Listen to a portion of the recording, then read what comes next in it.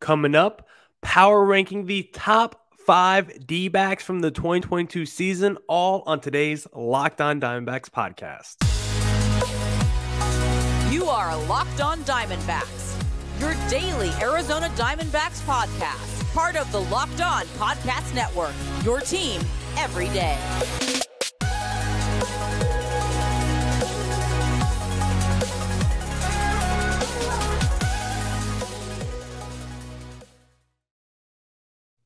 Welcome into the Locked On Diamondbacks podcast, part of the Locked On Podcast Network. Your team every day listening to who? The always charismatic host of this podcast, Millard Thomas. I'm a multimedia journalist and I'm a graphic designer. So please go check out my website, MillardThomas24.myportfolio.com. On there, you can see all my latest work from my packages to my articles to my photos and my graphic design. If you want to see more content by me, just follow me on Twitter at Creator Thomas 24 from my personal account. Just look up Locked On Diamondbacks on Twitter, Instagram for the podcast handle. And of course, thank you for making Locked On Diamondbacks your first listen every day.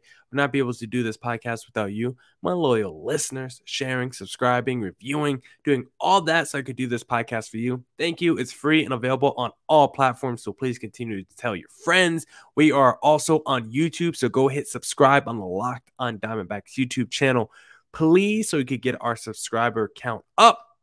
Today's podcast, we are unveiling the top five D backs from this past season. It's time. We've ranked 10 through 6 so far. We've done honorable mentions, so we're going to get into the list. But before we talk about the top five D backs from this season, I first want to talk about what the hell Major League Baseball is doing with this playoff setup right now. Because if you notice, of course, you guys are listening to this podcast. It's Thursday morning. You guys watch the Dodgers and Padres um, games. You watch the Braves or Phillies games. I'm right now recording in the middle of both of those games. It looks like the Phillies are on their way to a loss with the Braves up um three nothing. Oh, it looks like the Braves actually might have just won the game um against the Phillies fifth inning right now for the Padres as I'm recording this. So we'll see what happens there. I will know, you know, at the time of by the time you guys are listening to this, you will know what happens. But at the time of me recording, I don't know. But regardless, I want to talk about more about how the American League is just not playing today, how they are just taking a day off. Like the divisional series in the American League is taking a day off after playing game one yesterday, the same time as the National League. I'm just like, why baseball? Why did you have four games, both series going, game one all on Tuesday. And then Wednesday, you're like, you know what? We're only going to do the National League Series because to me, this makes no sense. Now, I get, I, I know why they're doing it. They're doing it for money reasons. So you can spread out the series. So you can have baseball on every day, extends the series. One day you have National League games, one day you have American League games. Easier for the networks, easier for the coast. I get it from that standpoint. For the money reasons, I understand it. But from the actual baseball competitive reasons, I don't get this at all because Shane Bieber's likely to start game two for the Cleveland Guardians, and he might have started game two if he had a pitch today because I believe he pitched game one on Friday. So he probably still would have been scheduled to pitch game two regardless, whether it's today or tomorrow. But the fact that he gets now an extra day to rest and scout, I think helps him out tremendously. Being a starter on five days rest for six days rest, I think does matter a lot when you're in the postseason time because these pitchers are not leaving anything to chance. They are unloading the tank, the gas tank, just unload it right now because these pitchers are going to throw as hard as they can. They're going to put everything they can into every pitch because guess what? If you make it all the way to the World Series, you might only need a pitch three to five starts, right? It's not like they're going to be adding another 80 innings of work onto their arms. No, if everything breaks right for the Cleveland Guardians or whoever it is, they your your main starter might only have to pitch like 30 or less innings pitch. So for Shane Bieber to get that extra day of rest, I think helps him out tremendously in this series against a very vaulted New York Yankees team. And when I look at the Yankees now, their game two starter, it's probably going to be like Nestor Cortes or something like that. But now I have a real question of rest versus rust for Nestor Cortes, whoever starting game two for the Yankees, because I just don't uh, now. Now Nestor Cortes has spent even longer since his last start in the regular season. It's another day he has to wait, another day to let his arm get cold. Maybe Nestor Cortes does overthinking, too much scouting. You never know. I think it would have been easier for Nestor Cortes to just go pretty quickly after the season ended. Of course, they had the first round bye, but if he was scheduled to go today, after his team went in game one, I think that would have just built more positive momentum for Nestor Cortes for the whole series. I think it just builds better momentum. And so to see the ALDS to take a break for game two the next day, meanwhile, the National League is still playing, I just don't get it. I feel like just this, I, I feel like this takes the number one seed more out of rhythm in the American League than um I well, let me say this. I feel like this really just does take the number one seed in the American League out of rhythm. Like if you're the New York Yankees, like I waited what a week and a half or however long it was for my first postseason game. And then after that first postseason game, I now have a game of rest before game two. Like they're basically playing one baseball game in like a week and a half stretch. Like that just doesn't make a lot of sense to me. I don't think that's fair to the number one seed. And versus like the NL teams, like you see the Dodgers and the and the Braves, like they're going back to back in the games, right? The Astros and Yankees now they play the game one after a week and a half. Now they got to wait another day for game two. Like that's just weird to treat your number one seeds like that. Like that's just really that I just feel like that's throwing them out of rhythm and just messing up their schedule and giving a clear advantage to the lower seed. And maybe it's okay to build in a little bit of an advantage for the lower seed because they had to play the wild card round and things like that. But if if I win the number one seed and now I'm at a if I win the number one seed and now I have to play and do this whole little charade with the schedule. Like, I'm not happy if I'm a Yankees fan or Astros fan today. I would rather be the Dodgers or Padres playing today, game two. And I also think it would be easier to do game one, game two. And then maybe if the National League has that day off the next day for game three, then come back um you know the day after for game three you have that one day in between for rest i think that's a lot easier doing two days on one day off than going one day on after a week and a half off and then taking day off and then going back on once again like that just doesn't make a lot of sense to me. I know why baseball is doing it, all for money reasons, but from a competitive standpoint, I don't think this was very smart. I think you're screwing over teams like the Yankees and Astros, who had phenomenal regular seasons, were some of the best teams in baseball. It's the reasons why they had number one seeds. And now at the end of the year, their number one seed is not really being rewarded, and they're actually losing an advantage to the lower seed. That's not right, Major League Baseball. And I think they need to look into evaluating this stance next year. Now, Let's get into the top five D backs from the 2022 season. We'll run through the players in our power ranking already. Honorable mentions was Ketel Marte, Ryne Nelson, and Kevin Ginkel. Number 10 was Corbin Carroll. Nine, Drey Jameson. Eight, Ryan, oh, eight, Kyle Nelson. Seven, Josh Rojas. And then six with Joe Mantiply. So checking in at number five on the top 10 D backs from this past season. Number five, Dalton Varsho, who is a huge fan favorite because this is someone that was a super heralded prospect, as someone as a catcher that could be a 30 30 kind of a guy. And we saw glimpses and flashes and more than that this past season because he had near 30 home runs, 27 bombs for Dalton Varsho, 15 plus stolen bases. Like it was a great it, was a really good season. Maybe not a great season. I don't want to get too far ahead of myself, but I do think it was a great season for Dalton Varsho. And for next year, one of the biggest things he needs to improve in his game is what he does against left-handed pitching. Because against righties, of course, Dalton Varsho himself, left-handed batter, was really good against righties. Average wasn't great, but had over 800 OPS. But against lefties, only a 553 OPS against lefties in 2022. That is just not good enough. Now, Dalton Varsho, the thing with him the last couple years, if you look at his numbers from 2021, really bad in the first half, then elite in the second half. And then that kind of happened again this year. Maybe not as dramatic because his first half this year was better than his first half last year, but he still was a much improved player in the second half. His batting average didn't really increase a lot. It was really the slugging for Dalton Varsho. His OPS went from 708 in the first half to 793 in the second half.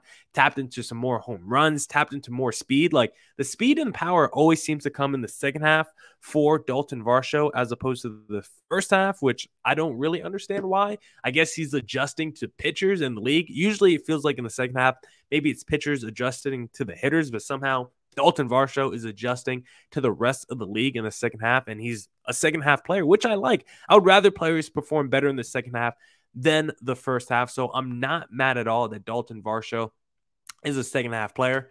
Also, for anyone who thinks that maybe Dalton Varsho could be the catcher of the future still because you're not high on Carson Kelly and you wouldn't be too upset if Carson Kelly got moved because of all the outfielders in the outfield. You're like, hey, I want Jake McCarthy, I want Alek Thomas, I want Corbin Carroll in the outfield.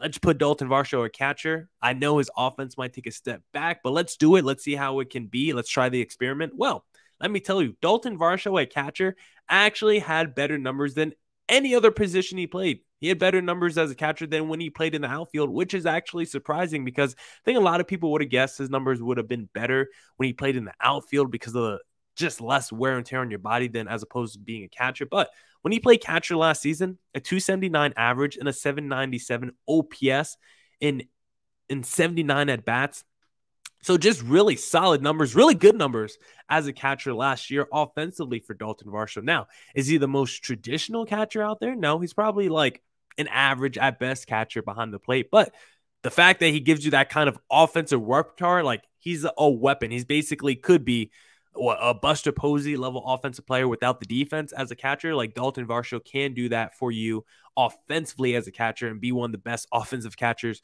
we've ever seen.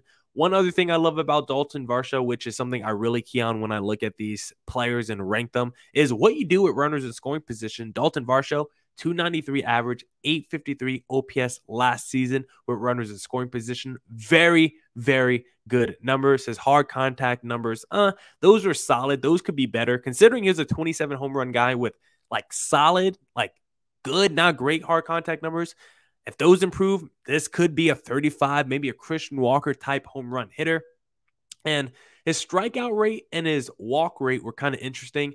He struck out a little bit more in 2022 and he walked less in 2022. Two numbers you don't want to see, but if he's going to be hitting more home runs, if he's going to be stealing more bases, I'm okay with it. If he's going to be a guy that comes through with runners in scoring position, I'm I'm a little bit more okay with him striking out and walking. There's just so many tools for Dalton Varsho that makes him interesting. And the one tool that he even talked about He's arguably the best defensive outfielder in baseball. Go look at any defensive outfield metric on Fangraphs, and Dalton Varsho is likely going to be number one across all those outfield metrics. Dalton Varsho had a phenomenal year defensively, and he should win a gold glove in his first full season, I want to say. Would you consider this Dalton Varsho's first full season? He played 95 games last year, 151 games this year. So definitely Dalton Varsho's first full season. There goes the baseball reference video. I have it set up right now where I have all the videos paused, pause so you don't hear anything for baseball reference, but I made a mistake and I tried to search something up real quick.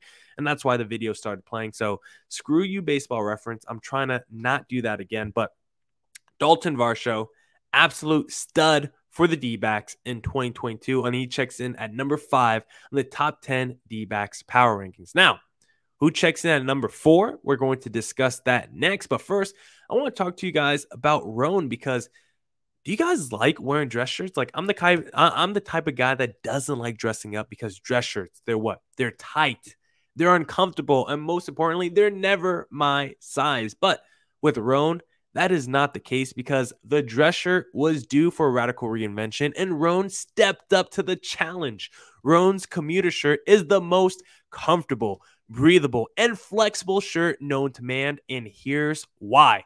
Rhone's comfortable four way stretch fabric provides breathability and flexibility that leaves you free to enjoy what life throws your way from your commute to work to your 18 holes of golf. It does not matter. Rhone is there every step of the way. It's time to feel confident with the wrinkle free shirt without the hassle. With Rhone's wrinkle release technology, wrinkles disappear as you stretch and wear the shirt. It's that easy. With Gold Fusion anti odor technology, you'll be smelling fresh and clean all day long. And on top of that, Rhone is 100% machine washable so you can ditch the dry cleaner altogether. I know I messed that up. 100% machine washable. So the commuter shirt can get you through any workday and straight into whatever comes next. Head to rhone.com slash locked on and use promo code locked on to save 20% off your entire order. That's 20% off your entire order when you head to R H O N E dot com slash locked on and use code locked on. It's time to find your corner office comfort. All right, all right, all right. Let's get back into the podcast. Yep, Braves win three to nothing. That just went final as I saw. So good job by Atlanta to what is that series now? I actually don't remember. I believe the Phillies won game one. So the series is now tied one to one. So that is a very fun. Zack Wheeler on the mound for game two, and the Phillies lose. They're going to have Aaron Nola in game three. So I would probably expect the Phillies to win game three just because I don't think I'm going to trust the Braves game three starter. Just quick thoughts on that because I'm sure it's going to be like Charlie Morton or I don't even know who their number three starter is, but whoever it is, after the top two starters for the Braves, I think it kind of falls off a lot. Meanwhile, you're still going to have Aaron Nola going for you if you're in game three for the Phillies. So Phillies have a great chance to go up two to one in game three with Aaron Nola on the mound. So we'll see what happens there. But let's get back into the power rankings because at number four on my power rankings for the top 10 D backs from the 2022 season, I got Jake McCarthy because Jake McCarthy just had a breakout season for the D backs first round 39th pick back in 2018 and Jake McCarthy this season. I mean 23 stolen bases 283 average 769 OPS in 99 games played you'll definitely take that from a guy who you didn't expect to do anything this past season now his numbers did dip a little bit at the end of the year if you look at his last 28 days the 679 OPS but still a 273 average during that time so even when his slugging dipped in that final month he was still hitting the ball pretty effectively still had around a 275 average. So you'll definitely take that. Like Dalton Varsho, one of the big reasons why I love Jake McCarthy is because he's elite with runners in scoring position. Jake McCarthy, listen to these numbers because this gets absolutely insane and wild. Jake McCarthy with runners in scoring position 2022, a 403 average, a 986 OPS. Absolutely massive. How about with men on the bases, not runners in scoring position, just men on the bases? 333 average, 867 OPS. This man crushes when men are on the bases. How about this? How about a really funky wild one for y'all? Two outs and runners in scoring position. So two outs are on the board. There's a man on second. What is Jake McCarthy going to do? Well, in 32 at bats, he has a 531 average and a 1228 OPS. Just sit for a second and digest those numbers with runners in scoring position, men on the bases. Jake McCarthy absolutely eats in the highest pressure moments. Baseball Reference has this fun thing we can look at a player split through their innings, and they usually have a group by every three innings. So innings one through three, innings four through six, innings through uh innings seven through nine. And for Jake McCarthy, his best innings were innings seven through nine because this guy gets better as we go deeper into the game. 297 average and 790 OPS, innings seven through nine for Jake McCarthy. His hard contact stats this season improved greatly from what they were last year. And again, I'm going off the hard contact stats on baseball reference. One thing about hard contact stats and just numbers in general when it comes to baseball is you go on different websites, they have different numbers. So hard contact stats on like StatCast versus Fangraphs versus baseball reference, all kind of are similar. They're all kind of the same range, but they're also different. So the batted ball hard contact stats for Jake McCarthy on baseball reference. His exit velo went from 78.8 to 85.5. Hard hit percentage went from 13.9 to 33.7%. And those aren't really great hard contact number stats, but they were greatly improved for Jake McCarthy. And if he can continue to improve and maybe become a like a 12 to 15 home run guy, plus the 30 to 40 stolen base potential he has, and if he could still continue to hit around 275. Maybe the slugging is never good, but if he's like a 750 OPS guy with 280 average, 15 home runs, and 30 stolen bases, that is a borderline all star level player right there. And you'll definitely take that from Jake McCarthy. He also improved his strikeout percentage a lot. 2021 struck out basically 33% of the time. This year, 21.5% of the time for Jake McCarthy was absolutely elite with balls in play. His BABIP was 349, which is just monster. Speed demon for the D backs this season 23 stolen bases and 26 attempts. His numbers were pretty much the same no matter what type of pitch he saw fastball, off speed, or breaking ball. Jake McCarthy was killing all three, which is really impressive for a guy who's really young and was only in his second major league season. Some of the, you know, expected stats, like when you look at expected batting average, expected slugging percentage, some of them might say that regression is coming for Jake McCarthy next season. But guess what? I don't care. I don't believe it. We'll see what happens because I still think Jake McCarthy is a guy who was just really good this season. Like sometimes with those expected stats, I'm like, yeah, they might tell you a player is like if a player's struggling, sometimes the expected stats tell you, guess what? He's playing a lot better than what he's showing this year. Or sometimes when a player is having like an all-star type season, sometimes they expect the expected stats are like, you know what?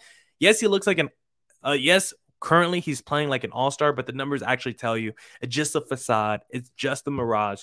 You can't believe it. But to me, I'm always like, the numbers are the numbers. Like, yes, there could be a reason the ballparks you play in, the defense that's behind you, but it, at the end of the day, most of the numbers I think are going to be pretty close, pretty similar. And if a guy puts up good numbers and has good production, I'm going to take that to the bank more than the expected stats. So the fact that Jake McCarthy just had a really good season where he looked like a borderline all star level player for the D backs, and a guy that we do have to wonder how does this guy fit into our lineup next year because at the halfway point of this year, at the All Star break, I think if we had to project our 2023 lineup at the All Star break this past year, we would have all been like, you know what?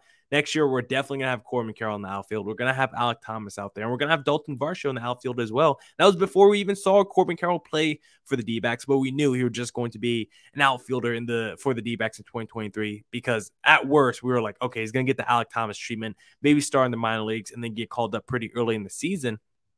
But now, you ask that question now, how you configure the D backs 2023 lineup, specifically the outfield, and you're like, does Alek Thomas crack the outfield of Corbin Carroll, Jake McCarthy, and Dalton Varsho? Do you just use Jake McCarthy as like your full time DH in 2022? This way, Alek Thomas can still be that guy in center field roaming around. Like, there's real question marks to how you use Jake McCarthy and whether a guy like Alec Thomas even keeps his job anymore in the outfield because we know Alek Thomas, elite, elite defensive outfielder, but his bat went real quiet in the second half. Meanwhile, Jake McCarthy's bat in the second half took off. I would like Jake McCarthy to improve a little bit defensively. I feel like he could do a better job instinctually tracking down some balls. There were some just angles he took to some balls where I'm like, oh, that probably wasn't the smartest. Uh, this you didn't attack that ball the smartest way possible. So there's still definite improvements in Jake McCarthy's game, but considering this guy was a former first round pick, like there was some pedigree with him. Like maybe we shouldn't be totally shocked that the 25 year old former first round pick actually had a breakout season. Like it shouldn't be that surprising when you frame it like that. But the fact that he wasn't really on a lot of people's radars and then had this kind of season. And I think, again, the most shocking thing to me about Jake McCarthy this year was the fact that he pretty much was good from start to end. There was never a point where he really had dips and lulls. Like he was pretty much that 290 average guy throughout the season. And the other thing is, I did not know Jake McCarthy was this fast. Like he's like a 95th percentile speed guy, one of the fastest players in Major League Baseball. I think if you go on StatCast and qualify it by like guys with at least 100 play appearances or something like that, I think Jake McCarthy is like top seven in sprint speed. So I didn't know he was that fast with this kind of ability to hit the ball any type of ball, Jake McCarthy, you check in at number four on the top 10 D backs from 2022. Now, we're going to be getting into the top three D backs from 2022. So, who checks in at number three? We got the man, the myth, the legend, Christian Walker checking in at number three for the top 10 D backs from this past season. Christian Walker had himself a fantastic season, and I'm really happy because last year in 2021, I was telling everyone in fantasy drafts. Also in 2020, I was telling everyone, but specifically more to last year because it hurt a little bit more last year if you drafted Christian Walker. Because I was telling everyone in fantasy baseball drafts last year, get Christian Walker late, take him in the 14th round or whatever. You're going to get a first baseman that could hit 30 home runs and get you 90 plus RBIs, and you're going to get him so late. He's going to be such a value for you. And if you did that last year, that method last year, guess what? He, he, he sucked for you. All right.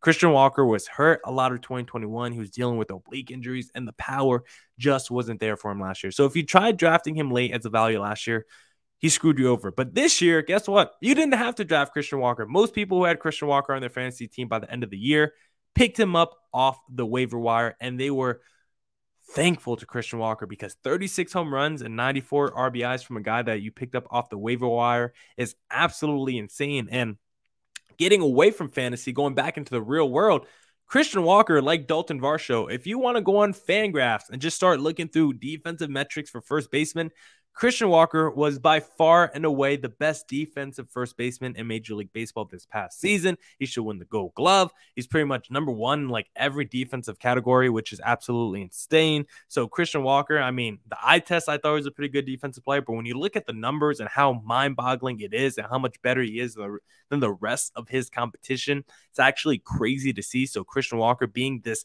elite defensive first baseman with the power is just such a nice asset to have on your team. And whether the D backs are good or not next year, like Christian Walker is the perfect type of trade piece. He's someone that every team would want because he's cost controlled. I believe he's still arbitration eligible, which is just absolutely insane for a guy of Christian Walker's caliber. He can hit 30 plus home runs. He's a uh, elite defensive first baseman, like we just said. Like he becomes arbitration eligible in 2023, can't become a free agent until 2025, which kind of sucks for Christian Walker because basically it means we're going to control his money until he hits his mid 30s, which, uh, you know, isn't really fair. But hopefully the D backs do right by him. If he has another great season like he did last year or like halfway through the season, maybe the D backs give him a little bump in salary and give him a little, you know, couple year extension. Maybe, you know, I would be down to pay Christian Walker eight to 10 million a year for a couple years. Like, I think that would be a fine contract for Christian Walker and is also deserving of it. But let's get back into some of the numbers for Christian Walker because one thing for Walker, I think people, because of the power and typical low average for him, they probably just assume that he just crushes lefty pitching. But that is true. He does crush lefty pitching, but he also does really good against righties. His numbers are pretty much the same against righties and lefties. 845 OPS against lefties, 791 OPS against righties, and 29 of his 36 home runs came against right handed pitching. So a lot of his power came against those right handed pitchers. And another thing for Christian Walker, like I said for Dalton Varsho, a lot of these two players have a lot of similarities. Christian Walker, big second half player for the D backs. His first half, 205 average, 779 OPS. Not the best in terms of the slash line. Still had 22 home runs. He was displaying that power in the first half, no doubt. But in the second half, not only did he continue to show power, but a 285 average and an 833 OPS. Those are all star slash line numbers from Christian Walker. So I'll love to see that. His numbers, the one of the weird things about Christian Walker's season is the fact that he wasn't great with runners in scoring position. I think that was kind of the running joke throughout the year with Christian Walker. Like he had all these home runs, he had all these RBIs, but his numbers with runners in scoring position 224 average, a 736 OPS, not exactly the numbers you would expect from the guy of the season he just had. I think he had 23 solo home runs. I'm not entirely sure if that's factually correct. I was trying to do the math by myself, going off baseball reference too, but I think the number is 23 solo shots for Christian Walker, which is which is just absolutely insane. And it also feels correct because it did feel like Christian Walker had more solo shots than, you know, shots with men on the bases, which is just crazy to think about.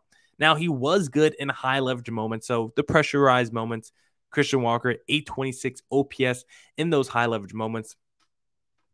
And another thing that I loved about Christian Walker is that he really got better as the game went on because when he faced a starting pitcher the first time through, 812 OPS, but that second time through, 932 OPS. He saw what he he saw way through in that first at bat, first play appearance, and he made adjustments to his game the second time up. And those adjustments led to great results. That's why I felt like Christian Walker would just take over that third or fourth inning because that second time he came up, felt like that's when all of Christian Walker's um, home runs were. It felt like every home run Christian Walker had was like the third or fourth inning, which is um, just an interesting tidbit to follow. His strikeout rate and his walk rate really improved in this season as well. His strikeout rate went from 23.8% to 19.6%, while his walk rate went from 8.5% to 10.3%. So, love to see those numbers improving. His hard contact numbers were also back to just being straight up elite.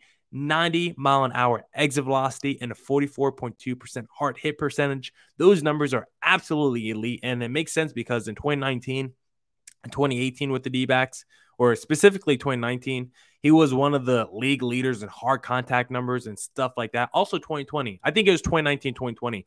Christian Walker was one of the best players in baseball. When you look at exit velo, hard contact stats, barreling the ball up, he was one of the best in that.